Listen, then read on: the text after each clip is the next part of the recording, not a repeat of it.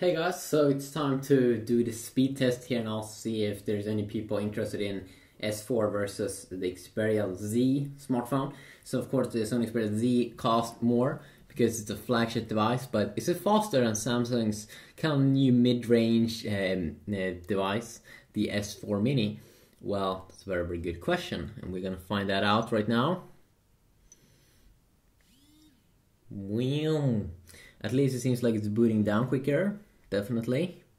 Let's see now when we boot them up.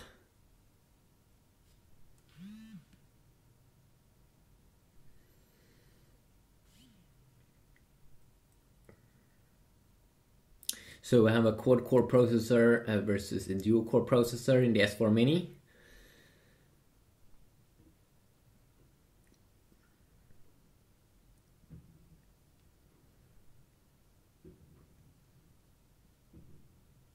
Oh, so the Samsung Galaxy S4 Mini here, uh, loading up everything quicker, which I find very very impressive.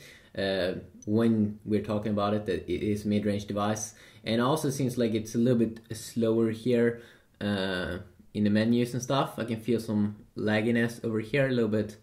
Uh, speed could definitely be improved here. Uh, feels a little bit more optimized here on the S4 Mini. Uh, but I'll definitely do more videos, more comparisons if people are interested. So yeah, have a good day.